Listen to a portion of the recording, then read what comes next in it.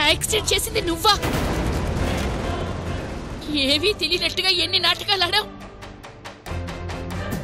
నీ వల్ల పాపం సావిత్రి జైలుకి వెళ్ళాల్సిన పరిస్థితి వచ్చింది కదే.